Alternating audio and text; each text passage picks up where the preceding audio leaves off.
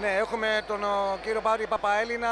Α, κύριε, Παπα, κύριε Παπαέλληνα, συγχαρητήρια για την ε, ομάδα σας και θα θέλαμε να μας πείτε και για πού αφιερώνετε αυτή την ε, νίκη και αυτό το τρόπαιο στο, στον κεραυνό.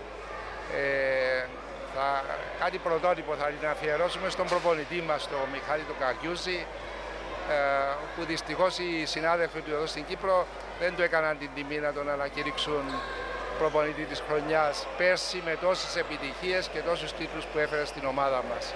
Οπότε νομίζω σήμερα έχει δώσει την απάντηση του, τον ευχαριστούμε ιδιαίτερα. Ε, ελπίζουμε ότι και φέτος θα πάμε καλά.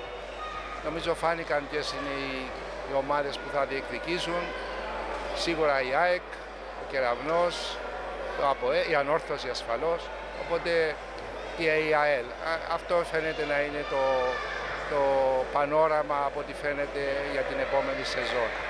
Ήθελα να σας ρωτήσω για το γήπεδο το οποίο ήρθαμε σήμερα και είδαμε κάποιες αλλαγές, ιδιαίτερα στο πολύ ωραίο παρκέ, είδαμε τα μπάνερ πάνω στην ε, ομάδα. Τι άλλο θα δούμε από την ε, διοίκηση του Κεραυνού; Κοιτάξτε, έχουμε βάλει τις πολυχρόνες ήδη από, από την περσινή σεζόν πριν 4-5 μήνες.